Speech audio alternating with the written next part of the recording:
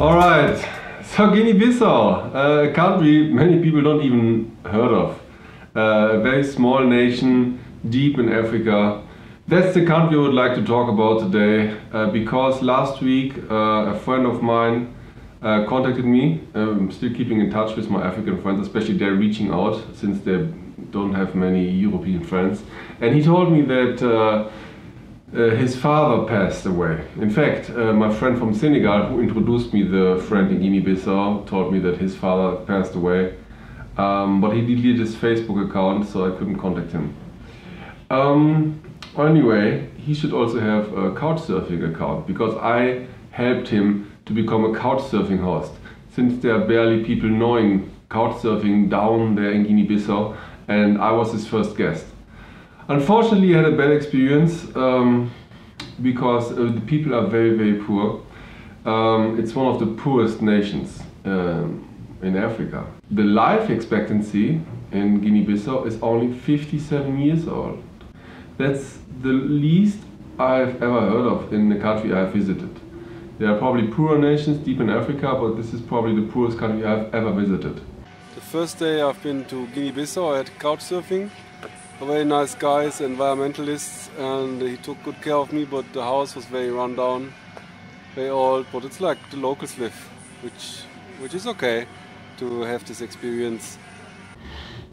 Um, but I was still grateful that uh, he hosted me. Um, they haven't had running water, for example. The sisters have to go to uh, how is it, dwell and get the uh, buckets with water, so we could take shower.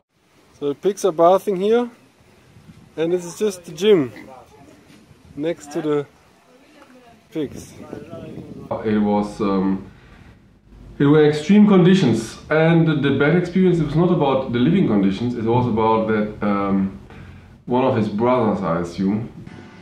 The brothers or somebody they stole money from me again. Again like this is uh, the second time.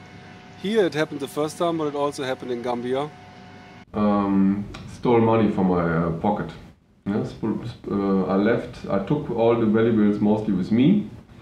Um, but I left, for example, euro emergency currency, 40 euro in my um, bag, and um, yeah, it was gone after I got back from a trip. And it must be one of his brother because he shares the room with two of his brothers only. Yeah? And usually they lock the room, so it must be one of them. Although I didn't want to disturb them, so I didn't mention it to him. Anyway, Guinea-Bissau. Guinea-Bissau is on the west coast of Africa uh, using the West African franc, which is the same currency. Um, I think other, nations as well use it. For example, Senegal um, and I don't know the other nations there, like uh, Burkina Faso. I've read.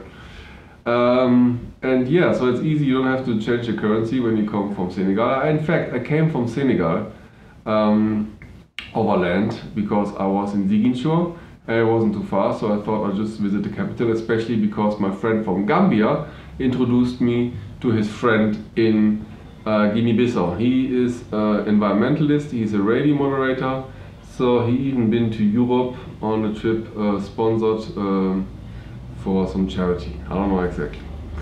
Um, so it was very interesting. I accompanied him to the radio um, where he gave speeches and um, also, yeah, to see local life.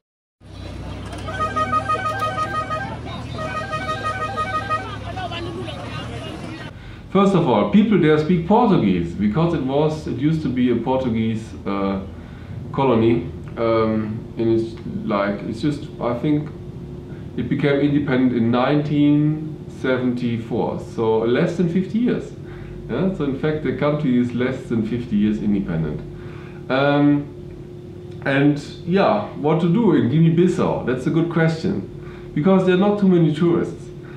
So, for, besides visiting the local culture, seeing the language, and trying some local food, I um, asked my friend what he can do, what I can do, and he said, yeah, deep in the jungle, there he knows somebody who is taking care of, is also an environmentalist, so I could uh, visit his friend. He couldn't speak English, uh, unfortunately. Um, so I took the bus to the, uh, it's another city called Buba. Um, I just looked it up before again because I forgot it. Uh, and there I got hosted by the, the camp, by the um, facilities of the uh, envi environmentalist camp. So I spent there two nights, uh, also harsh conditions, but um, it's an experience. Yeah, it was beautiful though, yeah, to see, and I think the people there, they never see a white guy, yeah, like, or rarely see a white guy. So it's nice that people are just curious, they're making friends, they're very friendly. Um, it was interesting, you know. I enjoyed the fame, being down there deep in the jungle. Yeah, so I um, accompanied uh, his friend uh, the, the, environmentalist worker to see what he's doing, and they having had uh, a chimpanzee in a cage. Boo. Hmm, Boo? Boo. He likes to drink water. But I don't want to give him my bottle, you know. I want to drink it later on. No, no, you come, you come here. He wants the bottle. No, no, no, you come here down. You come down here, and I put in your mouth. Come here. Yeah, that's how you drink it. Yeah, that was one of the most highlights. Although I, I felt heartbroken because this tiny cage. Uh, accompanying the chimpanzee and uh, it's interesting to get so close to the chimpanzee. Chimpanzees can be dangerous but only if you provoke them. So I asked them uh, if they could let the chimpanzee out so I could uh, yeah, get a close encounter with the chimpanzee. But I said no, he would run away. I said okay, instead can you let me in? I said okay. So they let me in this tiny cage and uh, had a wonderful, unforgettable interaction with this little chimpanzee. Probably the highlight of my entire trip. So we're here in the cage. he'd like to play. huh? Hey, boo. Uh, I spent a few minutes, maybe ten, uh, and it was it was such a friendly chimpanzee. I love this guy. Um, yeah, but besides that, there's not too much to do. You can pay expensive tours to the uh, see the uh, environment, see the animals, especially birds. Yeah, there are not many, there are not lions or anything. Chimpanzees, they, they have chimpanzees there, but I haven't seen any wild chimpanzee. But I thought, I want to explore the wildlife, and it's very difficult because of the transport. So, um, the environmentalist friend said, yeah, you can rent me a motorbike. It would also be nice if you could rent like a motorbike and we could at least get around this town. But so far it seems really nice here.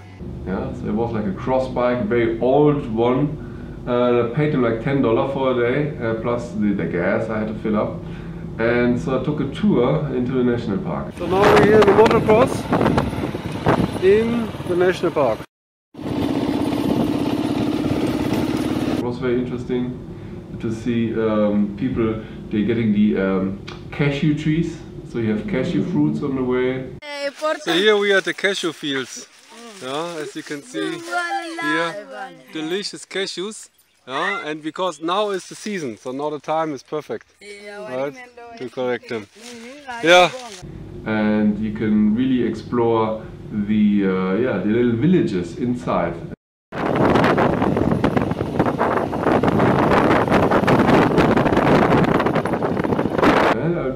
Although they're wearing more like Western clothes, they have a very strange, um, yeah, setting. Yeah, they're not really, uh, they're excluded, but they're still kind of civilized. Uh, every shop has like a kiosk, a kiosk, yeah, like maybe tiny restaurants and little huts, uh, church, stuff like this.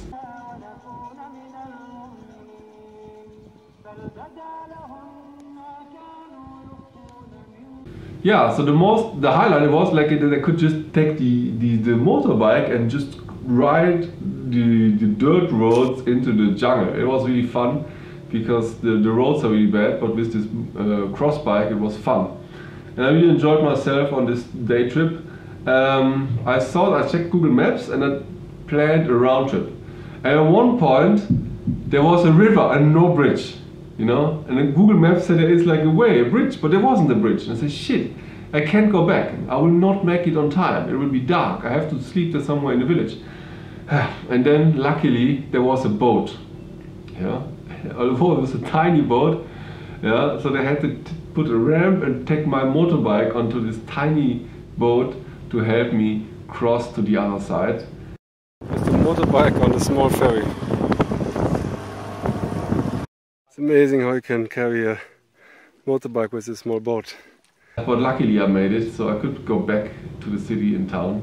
Um, also there was a hitchhiker, you know, he, um, and uh, so I'm tired from driving. Uh, so he also wanted to go to the city, Buba. And uh, so I let him drive in the end, and it was really cool that uh, he was really fast. He was, it was crazy. I thought we were gonna crash.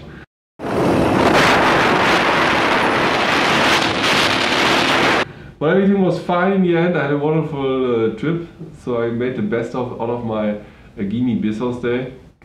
Afterwards, I returned back to the capital, Bissau.